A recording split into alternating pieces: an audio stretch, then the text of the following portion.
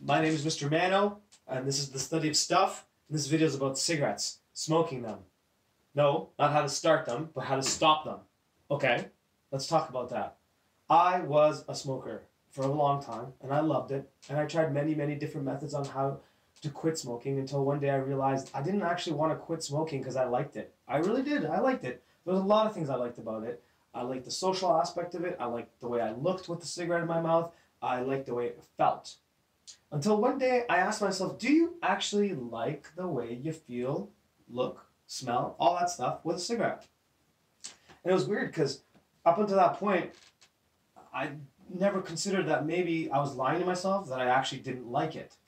Uh, so what I did is I tried to be a little bit more mindful and pay attention to myself and my relationship to cigarettes. So I wanted to look at that folder inside my brain, that subconscious of mine, and I wanted to pull that folder out that said smoking on it and actually open it up and look at all those the filing folder, the paperwork inside the folder. So I had to find a way to do that, to actually consider my reasons for smoking. Do I like it? All that stuff, and that kind of got complicated, a little too complicated. So I stopped that and I said to myself, okay, fuck it. Let's try something different. Let's observe ourselves as a smoker. Just simple as that.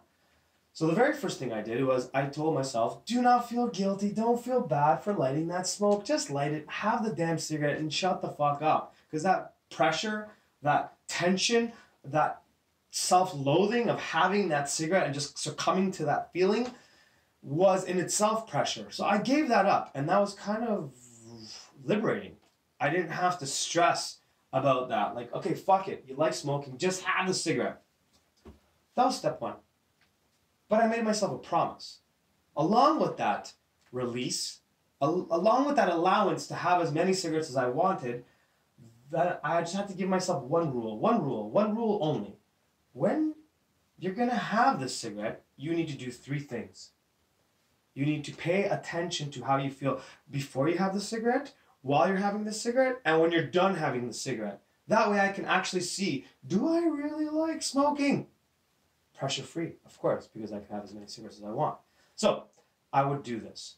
I'm at that point where you're like, oh man, I want a cigarette. Pull out the cigarette, put it through my mouth. Before I'm about to light it, I was like, oh, wait a minute, wait a minute, step one. How do you feel before lighting the cigarette? Before having the cigarette? So of course, one of the feelings is like, I want a cigarette. That's that's a feeling like you want that cigarette. It's like an urge, a hunger. Okay, but I feel good though. I want the cigarette, but physically I feel good, feel energetic. I don't feel sick. I'm ready to rock with the cigarette. Okay, good. Light it. Now, step two. How do you feel while having the cigarette? then I would notice that that feeling, that urge, the hunger of wanting the cigarette was gone. And I was like, oh, yes, had a couple puffs and I feel good. Third puff in or so, I would notice like a decline in my energy. I was kind of feeling pooey, sick even, stinky. I could smell it. I was like, oh, okay. Some of it gets in your eye, that cigarette smoke, you're like, oh uh, you know, a little bit of this, a little bit of that, but ultimately I didn't really feel good physically and it didn't taste good. I was like, what does this taste like? I'm paying attention to my taste buds, the smoke in my mouth. I was like, gosh, this doesn't really taste that good. And blowing it out of your nose or whatever, you, it's kind of, it's, it's not very nice. It's not pleasant. It really isn't. When you really focus and pay attention to it, it's not as enjoyable as you thought it was. Was it? Is it? Step three, cigarette's done. Put it out checking in. The taste got worse. The smell was worse. I didn't feel so good. I felt kind of shitty, really. Almost sick. Very lethargic. Like I wanted to take a nap. Like the last thing I wanted to do was whatever I was doing next. You know, if I was on, on break from work, I didn't want to go back in. If I was outside on my balcony having a cigarette, I didn't really feel like doing anything but just like lounging and like just being lazy. And it would take me a couple of minutes after the cigarette to kind of build up that uh, urge to want to go back to work or do whatever it was I was doing. So I would do this cigarette after cigarette, the same thing. You know, keeping my promise, that one promise that I'll have as many cigarettes as I want, but I'd have to pay attention. and I'd have to do those three steps. How do you feel before, before the cigarette, during the cigarette, and after the cigarette? And I kept doing that over and over again. And all of a sudden, that folder, that folder in here that we were talking about earlier that, that says smoking on it, all of a sudden, files started going into this folder. And those files that were going into this folder were that reminder of how shitty it tastes, how crappy I felt, and how it stunk, and all that stuff. And every time I pull a cigarette to have another one, remember, guilt free, there's a subconscious reminder of kind of like, you remember how crappy you felt last time? And then what I noticed is after about a week or so of really paying attention to how I felt, I wanted that cigarette less and less.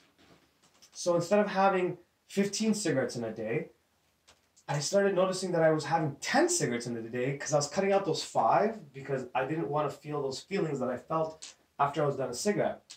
Lo and behold, after a while, didn't really take all that long, I had actually deprogrammed myself and kind of went, why the hell are you smoking?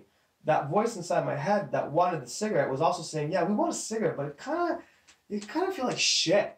It, it, it kind of isn't all that great. And all of a sudden, I started asking myself, then why are you smoking? That voice in my head was telling me, dude, do you really want this cigarette? Like, do you want it? And eventually, I didn't really want it anymore. And then all I had to do was deal with the nic fits, which didn't take that long, only like three or four days. But that program, that part of you that makes you do those things that you watch yourself doing and you don't even know why you're doing them, that program was gone. That program had rewritten itself to the point where I was, that program was, sorry, let me say that again. That program, that file, that in those, that filing folder of smoking, there was a, a, a different program saying, dude, do you really want this cigarette because you feel like shit after? And I don't. That's it. See you next time. Bye.